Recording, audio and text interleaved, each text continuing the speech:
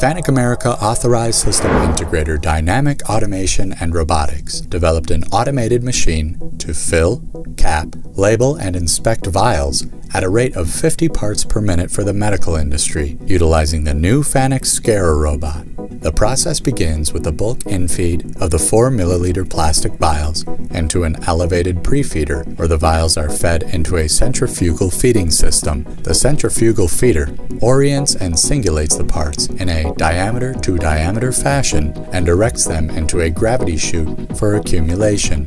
And the outfeed is controlled by a tick-tock mechanism. The tick-tock mechanism also detects a reverse vial condition where it grips and flips the vial to the correct orientation before it is placed into the nest. The vials first go through a Taran station, where they are slid into a load cell for precise weight of the empty vial. They are then indexed under a dispense head, where a positive displacement pump dispenses a predetermined amount of solution into the vial. A Fanuc SCARA SR3IA robot then picks a cap from the shuttle with a compliant custom end-of-arm tooling and initially engages the cap onto the vial. The vial is then indexed to a capping unit where it is screwed down and torqued to the final specification.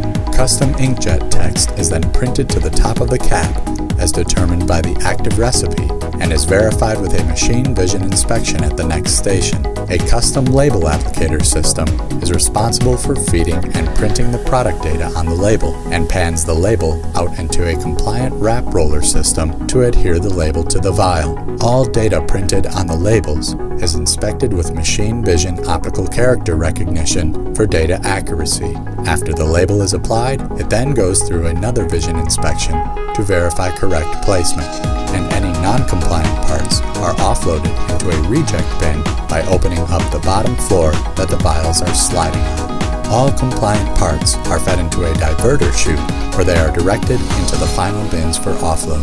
For this and more from Fanuc America Authorized System Integrator Dynamic Automation and Robotics, please visit dynamicautomation.com.